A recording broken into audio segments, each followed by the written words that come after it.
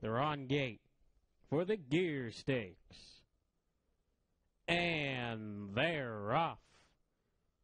Sharp start from Seafarer. Live Lucky to the outside. Warrawee Unique in between horses. And down towards the inside is World on Edge. Parked out so far is Cloud Break as they're racing to the opening quarter mile. Wally Hennessy and Live Lucky have made the lead from the far outside post and lead it by a length and a half over Seafarer. Cloud Break to the outside is in third. The opening quarter was sharp, 26 and 4 fifths seconds. Here's Cloud Break on the outside, and he has taken the lead from Live Lucky. It's Cloud Break with a circuit to go and is opened up to a two length lead on Live Lucky, who's in second. Seafarers in third. Warrawee Unique is in fourth.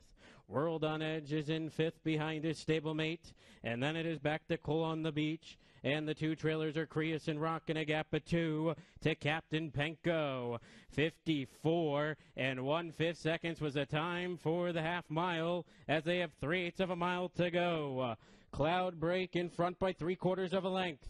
Seafarer to the outside is now going to look for the lead, and he's taken the lead from Cloudbreak as they're racing towards three quarters. Uh, Live Lucky right in behind the lead. Second over trip for Warrawee Unique as they round the far turn. Seafarer has taken the lead from a spent Cloudbreak, but we'll have to deal with Warrawee Unique as they hit the top of the stretch. It's Seafarer in front. Warrawee Unique to the outside of him.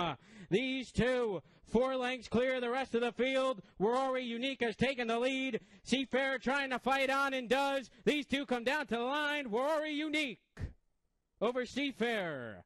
Then Captain Penko and Live Lucky. 150 and one.